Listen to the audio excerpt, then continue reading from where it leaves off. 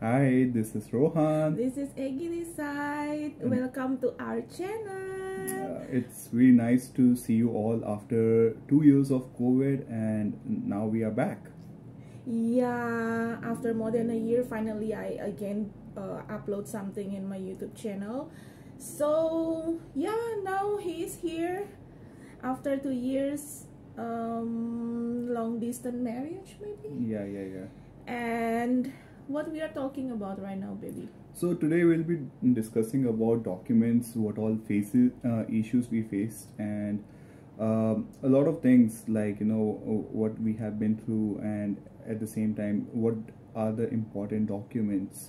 So uh, the objective of this video is to show you all that uh, what all documents are required to marry an Indonesian. So I'm an Indian and she's an Indonesian. And what are the basic steps? What are the do's and don'ts? So in this video, we'll be sharing all those things.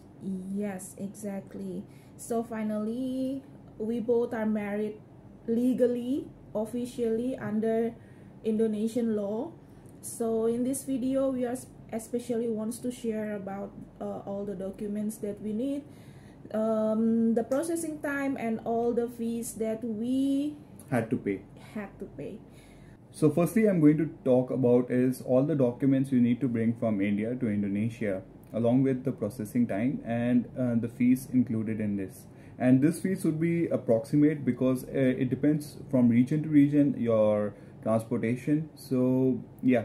So for the first thing is you need to make a affidavit. In this affidavit, you need to mention that you are a single.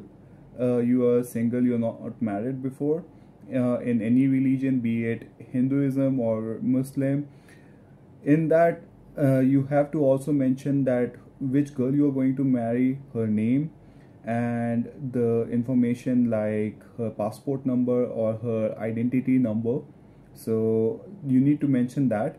And once it's done, it would hardly take 300 to 400 rupees uh, when you're getting it done from your regional court once you have done this you have to send it for apostille est- attestation. Uh, attestation takes uh, around 8000 to 1 uh, 10000 rupees. Uh, i got it done from an agent so you guys can also get it done from your agent uh, which is whichever is near to your uh, to your region so once your document is completed in India related to affidavit and the apostille stamp is completed, you uh, you can plan to come to Indonesia. And once you come to Indonesia, you need to submit this document in Indian Embassy, Jakarta. This will be only done in Indonesian Indian Embassy in Indonesia, and um, the NOC stamp will be over there, right? In jakarta Yes, only in Jakarta. Yes. Correct? Yeah. Yes. So uh, once you submit this NOC, uh, this for NOC attestation, uh, you have to pay somewhat around four hundred and ten thousand. Uh, 410,000 is equal to somewhat like 2500 Indian rupees and from there I think uh, once your NOC stamp is done you can uh, you can get this document along with the attestation within 7 to 14 days. After uh, the affidavit done by indian embassy you can collecting it. And you have to translate the affidavit to bahasa uh, by sworn authorized translator. It will takes around one week and you need to pay we paid actually 200,000 for four pages. So 50,000 each page. Um, it depends on the agent on in the uh, depends on the translator that you use. So make sure it will be not that expensive because it's usually around 50 until 100,000 per pages something like that. Okay and one more thing um, Indian groom have to be prepared is passport and the photocopy of front like uh, identity Front and back. yeah Yeah. identity um, front page and back page of passport yes and also the page where is the stamp when he when he come to the arrival stamp like visa. yeah visa stamp or, or your Yeah. arrival date stamp Yes. so that is also required to submit it on uh, to the Catatan Sipil Yeah. so that they can see how long you'll be living uh, living in Indonesia From Rohan's side, I think that's all. And from Indonesian bride, from me actually, I just need my KTP and uh, my family card, KK. Um, also your religion marriage certificate because we are married in Christian way. So we just need to bring our church marriage certificate if you are married in Hindu or in other religion, you have to bring um, the religion marriage certificate to the catatan sipil. Also, picture of both of you like side by side like this, yeah and then a photocopy of two witnesses, Yes. anyone. yeah So the photocopy of KTP of two witnesses. yeah That's all is very simple for Indonesian bride. Uh, it's little bit complicated for um, Indian. the Indian group. Kalau semua dokumen sudah uh, complete, sudah lengkap, uh, semua dokumen dari pihak laki-laki dan pihak perempuan bisa dibawa ke catatan sipil daerah kalian. Kami mendaftarkan pernikahan kami di uh, catatan sipil Kabupaten Bogor. Jadi apa yang kami ceritakan di sini adalah um, pengalaman kami menikah di uh, catatan sipil Kabupaten Bogor. Kami nggak tahu apakah di catatan sipil daerah lain itu akan sama atau tidak. Jadi setelah semua lengkap dibawa aja ke sana, nanti mereka akan uh, submit, mereka akan tanya semua kelengkapan datanya dan dokumennya. Kalau semua sudah lengkap, mereka akan tahan semua dokumen dan mereka akan kasih uh, schedule kapan uh, kita bisa ambil uh, marriage certificate atau akta nikah kita di um, catatan sipil tersebut. So, like my wife told you, what will, uh, will be the things will be done in Catatan Sipil is very simple. Uh, you need to submit it, and they'll be calling you uh, according to the dates scheduled. Once uh, all those things is done, you will be getting a marriage certificate from uh, from the Catatan Sipil, and that is your legal um legal marriage certificate. But hey, this is not done yet you need to uh, make it attestation from external affairs and ministry of law so my wife is going to talk about how you can do it uh, we did it by agent but uh, i think my wife will be the right person to talk more about this Jadi setelah akta nikah selesai, em, kita dapat dua akta, dua surat, itu untuk suami dan untuk istri. Nanti setelahnya kita harus bawa eh, surat ini, akta nikah ini ke tiga tempat.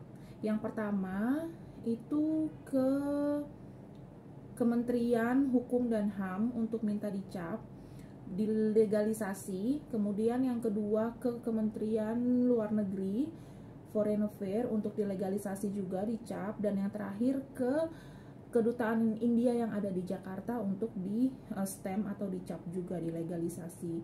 Em, itu harus berurutan ya, tidak bisa uh, duluan yang mana. Jadi tetap harus berurutan Kementerian Hukum dan HAM, Kementerian Luar Negeri dan kedutaan.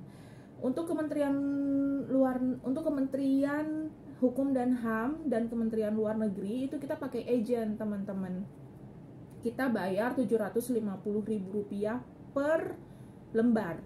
Jadi dikalikan dua kurang lebih 1.500 ribuan gitu dan em, untuk yang di kedutaan itu kita bawa sendiri kita bayar kurang lebih 400 ribuan. Untuk biaya ini bisa naik bisa turun ya tergantung agent yang kamu pakai dan tergantung kebijakan dari em, kedutaan India juga yang ada di Jakarta. Gitu. Setelah itu kurang lebih masing-masing prosesnya itu satu mingguan. Jadi untuk semuanya kurang lebih dua mingguan. Em, semua legalisasi selesai dan ya congratulations you are Married. legally married under Indonesian law Yes. seperti itu So you guys are married now. Uh, you can uh, enjoy coming to Indonesia comfortably. But again, I would like to tell you that you just got the uh, the marriage certificate. That means you guys are legally married, and your wife and you can come to each other's country comfortably. You won't be facing any issues. But yes, uh, the visa process is again separate. Uh, your stay in Indonesia totally depends on your visa, and visa and your marriage certificate is two different things. So remember this thing. We'll be talking more about this in our next video. Uh, the most important and the last thing what I'll be talking about is the do's and don'ts, which is very important. What you have to do is, and the I'll be talking about the do's first. You have to have a positive approach in every manner. You cannot be rude any point of time. You cannot be rude with any of the immigration person, in uh, Indian embassy person, or any person who is based out in Catatan Sipil. Uh, be polite and whatever they say, try to cooperate. Secondly, always carry extra money. It is it is going to help you in any step. You don't know what uh, and where you are stuck, and you uh, you know there will not be any person who will be helping you out. So trust me, carry extra money all the time so whatever money we suggested you in the whole video i would say always take an estimation of at least one juta which is 5000 indian rupees extra. For the next point i would like to mention is always ask ask ask. I have noticed indonesian people don't like to ask many questions. So my wife never used to ask any questions. And you have to be very probing. Probing means even you know you think or if you're having any doubts ask even if it's a simple thing just ask. Don't be hesitant at any point because if you don't know anything or if you missed out anything your whole process can be cancelled. And that happened to us a lot of time. So uh, my marriage had a lot of issues. I'm not going to talk about that. But yes um we uh, i asked a lot of people and yeah so the thumb rule is always ask people and yeah. Now what i'm going to talk about is what you don't need to do. So you always remember you have to take care of your documents all the time. Your Original passport. documents. yes your original documents. Your passport your Affidavit. affidavit your uh, you know any documents even after marriage certificate that would be the most important document. At any point you don't need to submit your passport for indians okay? You don't need to submit your passport anywhere. Yes you would be needing to submit it in embassy so they would be giving you a, a, a attestation but you don't need to even uh, submit your original passport over there. They will be taking a copy of that. Okay. So that is one. Be careful that not to submit your original documents or your passport anywhere. Can i add something? Yeah. Yeah. The don'ts first of all don't give any original documents to catatan sipil jadi waktu kita kasih dokumen ke catatan sipil semua fotokopi aja. Jangan kasih yang asli. Karena eh, takutnya hilang atau gimana kan susah lagi kita carinya. Jadi mending kita pegang yang original kita kasih yang fotokopi. Mereka sih nggak akan minta yang original ya. Yang penting eh, semua datanya ada gitu. Sampai sekarang kita masih pegang affidavit asli em, apa tuh paspor semua masih ada. Jadi jangan pernah kasih yang em, original kan takutnya hilang itu aja. Okay. Second thing is uh, what is the important don'ts is don't come with a visa of one month. Okay? You uh, i'm i can assure you your document will never be completed within one month. Uh, within one month it cannot be done okay within two months also it it was very hard for me and my wife uh, it took actually uh, more than uh, three to four months yeah. but uh, yeah if you if everything is working smoothly for you it would be uh, At least two months. at least taking two months Mhm. so within one month visa it it cannot be completed so don't have a mindset of keeping a visa only for one month and coming over here getting married and going back. That is not possible. I'm saying this very upfront blunt because i don't want to give any false hope to anyone. Iya kita juga em, selesai akta nikah sampai ke eh, legalisasi segala itu butuh kurang lebih hampir empat bulan. Itu karena eh, ada beberapa drama dan masalah gitu kan eh, di akta nikah kita. Tapi kalaupun kalian berjalan sesuai rencana tak ada masalah apa pun itu paling enggak dua bulan satu bulan lebih lah karena menunggu uh, proses itu lumayan lama sih jadi jangan pernah ambil visa untuk satu bulan Okay. So yeah, I think that covers up most of the things. Um, this will help you to get married comfortably.